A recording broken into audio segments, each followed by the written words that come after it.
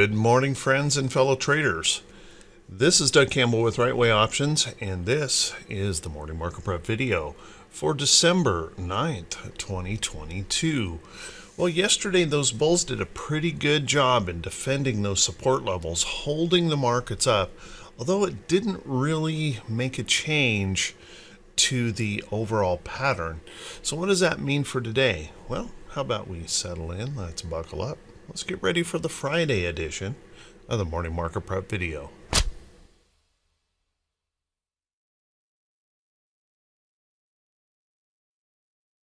Good morning once again, everyone, and thank you so much for being here. I do truly appreciate it. Let's take a look at these charts and see if we can gain some information about how we may want to approach the market for today. Well, as I mentioned yesterday, it was really going to be a critical hold to hold these support levels in the chart. And as you can see, we have held in here and done a pretty darn good job of holding those support levels. Yet we really didn't change a whole lot. We are calming down in the price action moves. Although yesterday at one point in time we were up about 300 points, um, pulling back to just rest um, then the rest of the day.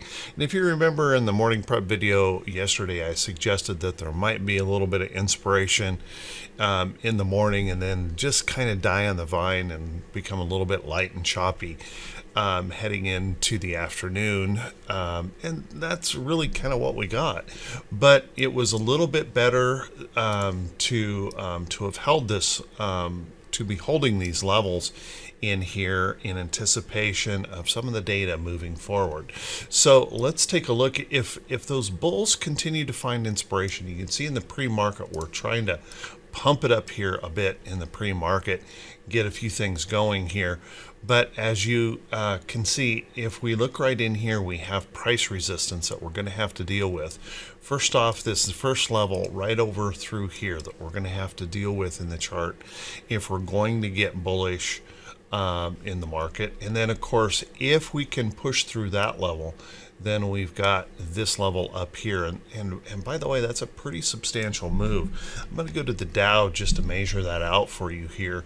But if we were opening right in here someplace, if we were to push all the way up into here, that's an 835 point move. So it's going to be a big stretch if we're going to move up to there. And considering the fact that we next week have an FOMC meeting, um, might be a little bit too far of a reach to do all at once. You never know um, with the emotion of this market right now, but there is a concern here. So watch that carefully. Now, if we were to take a look, um, if those bears were to find inspiration, for example, if, if the numbers today um, are not that favorable, then I would suggest we look for areas down in here. First off, this level right here. And then if that does not hold, you can see we've got a good support level in there.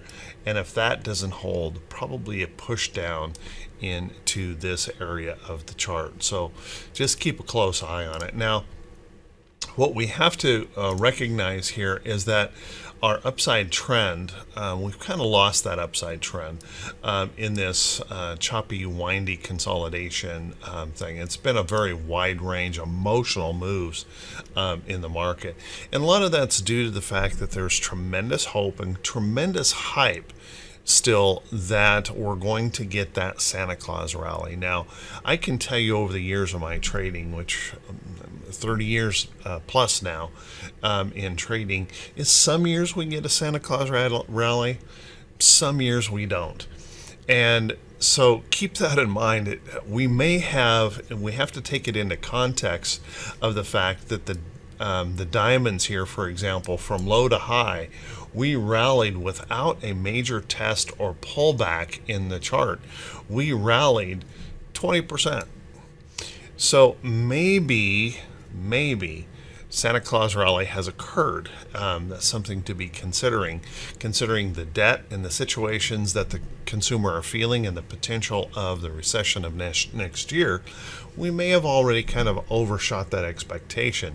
I'm not saying that's the case, but it is something to be considered that maybe it doesn't show up. Now, if it does, if it does show up, then we're going to have to test these resistance levels in the chart to break through. And um, we'll want to keep in mind that the Dow so far is the only index, 30 companies in the Dow, the only index who has defeated the um, overall big downtrend. And so if we take a look at our SPY, SPY, you can see here in the chart that we still have not defeated that overall downtrend. Still struggling with that area here to break out of that chart. Now, we certainly have had an upside trend, but here again, that upside trend has kind of uh, gone by the wayside here in the chart with this longer consolidation and that rejection of that resistance high up here. So the good news is yesterday we had a, a uh, nice bullish hold of this critical area, and it's really pretty critical here in the SPY. As you can see, we held this area in here, and that's a good sign for the bulls. If those bulls can remain um, or find inspiration today, then we'll look for a retest of some resistance right in here. Notice these little tops right here, um, providing a little bit of resistance. And if we can push through that level, then we would look to this downtrend resistance and price resistance in the chart. So we've got a little bit of that double level um, that we'd have to breach. So we're going to need some pretty good information, I think, to breach that level, considering the fact that we've got an FOMC meeting next week, a CPI reading next week. Um, could have a little bit of struggle um, on a Friday pushing that high in the market. But if they do, we know where those levels are. Now, if we take a look and if we happen to get some information today that's not so bullish and those bears are inspired, well, once again, we're going to watch this level right in here. If we can hold that for support, I think we're in pretty good shape. If we fail that level, I want you to notice that failing this level, level could be pretty fatal um, for the SPY. Um, dropping down through here would kind of suggest we're going to start moving back toward um, those lows of the year. We do have some support levels down in here, but that would be a pretty big stretch to drop into. So just keep an eye on that. It's pretty critical that we hold that level um, and the bulls defend that.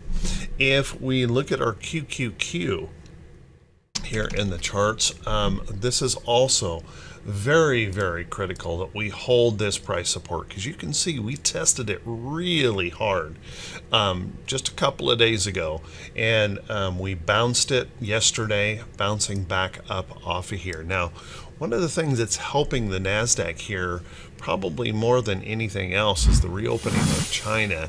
Um, they're relaxing some of those uh, lockdown restrictions easing some of those pressures. So that's helping the NASDAQ here a bit. We'll want to keep an eye on that. And overnight, um, China had um, some of their um, inflation numbers, their actual their CPI went up by 1.6 percent, but their PPI reduced by 1.3 percent. So they had kind of a mix of data there, uh, moving things up. But um, overall, markets are feeling a little bit of relief um, because of the lockdowns um, starting to ease over there. So keep an eye on that. Even European markets are a little bit higher this morning just based off of that news. So we'll want to watch that pretty closely here, and that could inspire. Um, uh, QQQ a little higher. Another thing that may help just a little bit, Apple has been struggling, and I've mentioned this. Um, um, probably our more notable um, earnings report from yesterday was AVGO. AVGO, um, substantial supplier to Apple, and apparently they are doing pretty well. So, uh, moving up in the pre-market after uh, their um, earnings report after the bell yesterday. So that should provide a little bit of help to um, this struggling Apple stock in here with lots of um, lots of unfortunate data coming from China and the struggle that they're having in producing products and moving a lot of their manufacturing out of the country. So we'll want to keep an eye on that. Now, as we look at that QQQ, we're getting those little bit of help, um, you know, from that China news and and um, Broadcom doing what they're doing. Um, so you can see we're trying to push up here in the pre-market. So if we can find that bullishness in the data today, um, we might look for a retest of some of these levels up in here. Notice we've got fairly significant resistance levels in the chart here um, to be watching. And if we can push through that area, then maybe we push right on up here and test this level in the chart. But unfortunately, testing that level doesn't resolve too much of, of anything because we still have that major downtrend that we need to breach. And with worries of um, next year's um, recession, all the talk out there about that, um, um, and a, a, Federal Reserve meeting next week, it may be just a little bit tough for us to push right up into there, um, you know, on Friday. We'll have to see. Watch that close. Now, our um, bears, um, if the bears are inspired, you can see this is going to be a pretty critical level. If the bears get inspired and we push back down, we need to hold that support level in the chart because if we don't, well, as you can see, we've got a pretty easy path then to retest the lows of the year. We might catch some support in a couple of these areas in here, but um, it, it, doesn't look good if we lose those levels. Now our IWM, our IWM is going to be kind of interesting because IWM already had a double top rejection here of that longer term downtrend. And although I, we talked about this level in here, pretty critical that we hold and we didn't do that. We broke down through. Um, although we had uh, that bullish action in here yesterday pushing us up, you can see it really didn't leave behind a very confident um, uh, candle pattern here in the chart. So if we're going to be bullish, one of the first things we need to do here in IWM is recover that area, hold it as support, and then see if we can attack these levels up here. Now what we've seen in this emotional market is we don't do those um, um, holding patterns, um, what we do is it's just all or nothing. We either race in or we're running for the door. So possibly we can push straight on up here. And if that is the case, then we'll look for this resistance right in here. First off in the chart, um, if we can uh, break through that support level that we just broke yesterday or the day before yesterday. And then if we can push right on through that, then we'll retest this double top high and see if we can break through that overall downtrend. If the bears happen to find inspiration, then I would look for a retest of our low just the other day. Look for a retest of that. And if that were to fail, then we're going to look down into areas like this for that next level of price support. So pretty critical situations going on here in the market that we're going to have to pay close attention to. If we take a look at our VIX, our VIX eased that pressure just a little bit yesterday with that move back up. But one of the things we have to recognize and acknowledge is that we broke that downtrend here in the chart and we did break back through a little bit of price resistance here. But no harm, no foul here. This isn't enough of a break to really um, raise major concern unless we were to hold this downtrend break with a higher low. That's where the concern will come in. So today's data is going to be pretty critical as to which way this goes. Will we will we push this back down or will we start pressing this back up as we kind of worry about um, what the FOMC is going to do next week and that pending recession for next year. If we take a look at our T21 22. Well, T2122 leaves a little bit of confusion here in um, the market because we tried to get um, quite a bit of bullish going, bullishness going early in the day, and we pushed up near this 50% area here in T2122, and then those bears came back in and pushed back down. And we kind of wandered in the afternoon. So, looking at T2122, what we have here is um, an opportunity if the bulls can find that inspiration here or maintain this pre-market pump up, we certainly have upside opportunity in the chart if we can find find that bullish inspiration.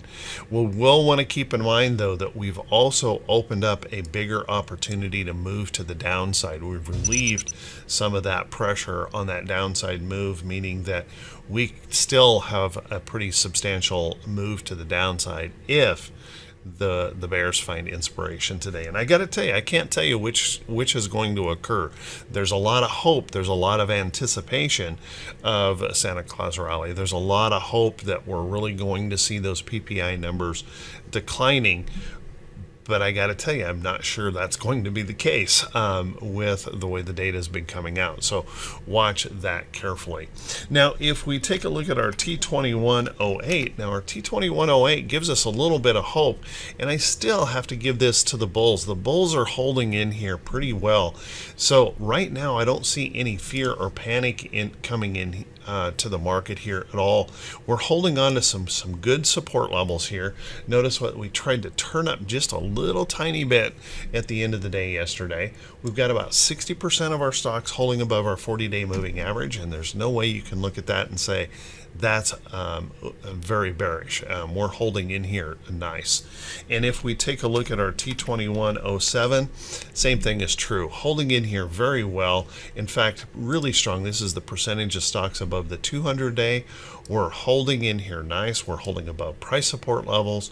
So you have to give that to the bulls. They're not giving up here on uh, these charts. The pullback has largely been because we were we just took it too far, um, too fast, and we needed a rest or a consolidation or a pullback in those um, index charts um, because we kind of stretched it a little bit too far there. So um, if we take a look at our T2101, which is our momentum indicator for the market, well, I got to tell you guys, I'm going to jump right back to the diamonds because it's really not showing us anything. Um, as a matter of fact, um, we continue to to kind of produce very low volume here in the market is we're just doing kind of that wait and see a lot of wandering around um, waiting uh, for data. And unfortunately we could get a big move today on our PPI data and then still wander around a bit um, because you know next week CPI and and the FOMC meeting. So um, low volume um, in these um, index charts on the day, and uh, not getting the best of data here for that momentum indicator.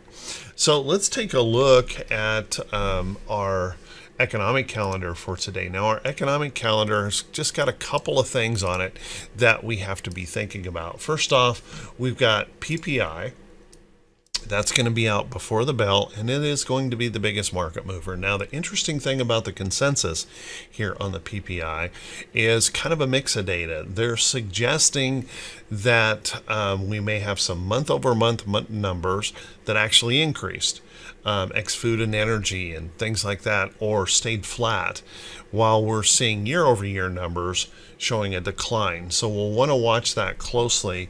Um, uh, that will be the mover or the inspiration, I think, for this morning.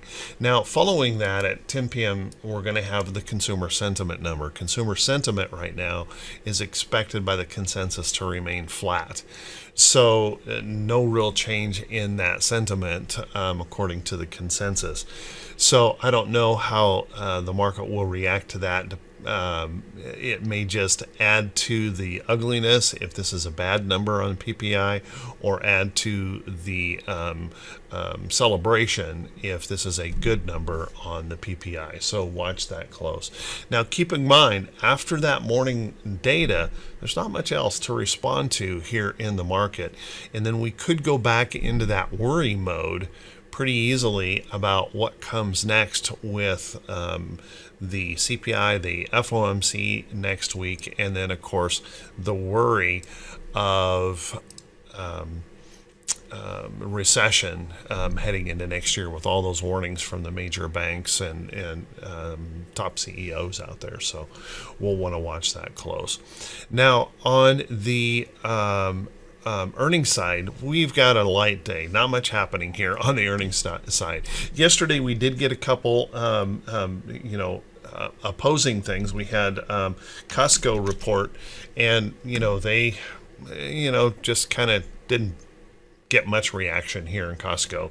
Um, but we did have that Broadcom report that moved pretty nicely, and that's bullish, particularly I think for the NASDAQ. Um, then we had stocks like um, DOCU. DOCU, nice pop here right into its downtrend resistance, but a positive move. And on the other hand, we had Lululemon go the other direction. So, kind of a mix of data. Today, we only have two verified reports. Um, JOUT will be reporting. Now, this is a nice bullish pattern here in the chart. And the only other one is LI. And LI looks like we got a little bit of back and forth going on here in the pre-market on that one. So trying to break that downtrend here. So that is it for inspiration on the earnings calendar. And next week, um, our earnings calendar is also quite light. Um, we're kind of running, scraping the bottom of the barrel on those earnings reports um, for the rest of this year. So let's take a look at a few stocks that could be setting up for today. But before we do that, guys, if you could do me that quick favor, if this is the first time you've seen these videos, if you could please click that subscribe button on YouTube and also click that bell icon when it pops up so you'll be notified every time I post a video. And if you find these videos to be useful or helpful, if you could please do me that favor, click that thumbs up button, leave a brief comment. That helps the channel to continue to grow. And I just want to say thank you so much to everyone who does take the time to do that. I truly, truly appreciate it. And I know it's kind of monotonous day every, every single day doing that. Um, but thank you to everyone who does take the time. Um, um, to support the you know the effort that it takes to put these videos out daily. I do appreciate it. Um, let's take a look at some stocks that could be setting up. And please keep in mind, guys, these are not recommendations to buy or sell any security.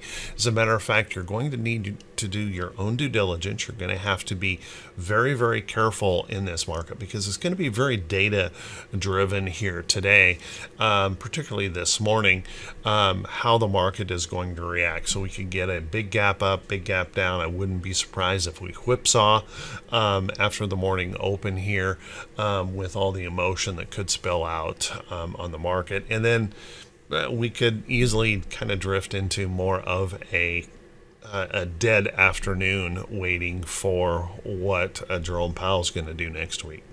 So let's take a look at a few of these um, charts. First off, I've been seeing quite a move here. I think there may be a little bit of a rotation beginning to happen into defensive sector stocks. I mentioned this yesterday um, um, in the morning prep, and it really seemed to be true um, yesterday um, as I was looking through charts. A lot of defensive sector stocks showing signs that there may be a move into these areas for a little bit of protection. Everyone's kind of planning maybe into next year.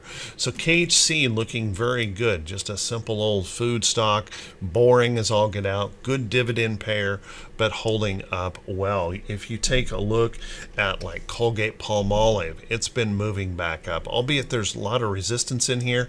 That was a nice bullish move yesterday, holding on to that trend here um, in Colgate. Um, seeing stocks like Hershey. Um, Hershey really zooming up yesterday, breaking through some resistance, all time highs here in Hershey.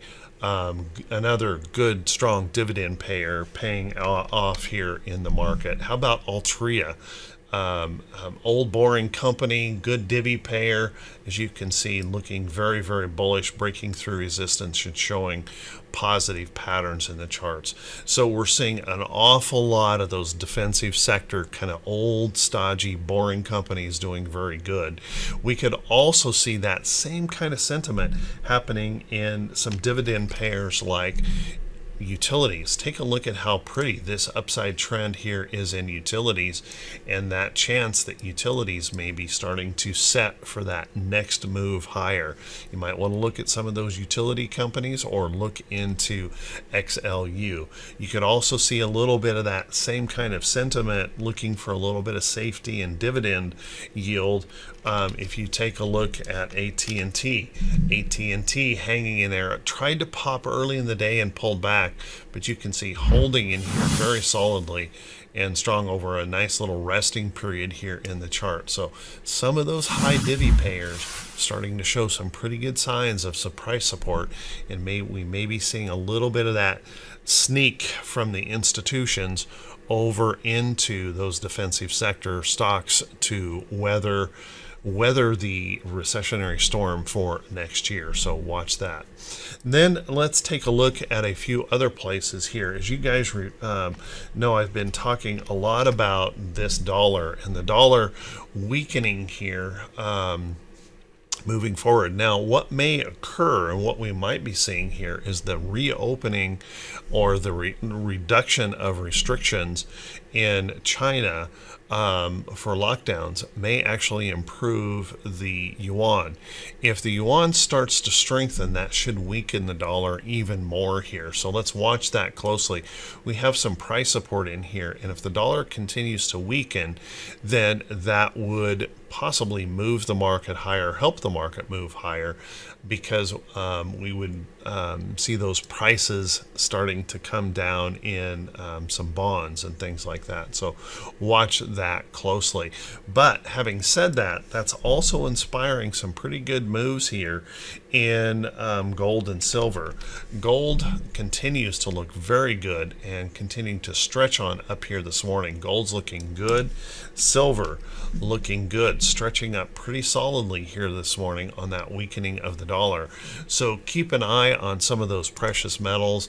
I've been mentioning these I'm setting up um, looking really, really good here um, on the morning, but that can change really fast, um, you know, depending on how we react to the data this morning. So quite a few of things in, in that area. You might also want to be taking a look into other commodity prices like steel, U.S. steel breaking through resistance. We're trying to hold this area in here as price support.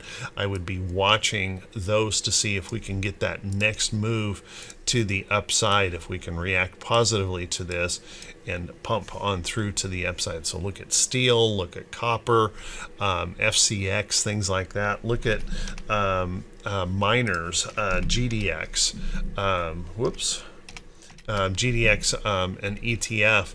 Um, nice bullish pattern. Got a little resistance here that we have to be concerned about, but um, showing nice bullish patterns. And if gold and silver are going to be moving up, I would look to those miners to also be very bullish. So with that, guys, hey, I've run this video really long, and the reason I did is there is no blog today, so I had the time to do it. I want to wish you all a very, very positive day, a bullish day, um, and probably more importantly, a wonderful, restful weekend coming up. Be safe out there, guys. I wish you great success, and we'll see you right back here bright and early Monday morning.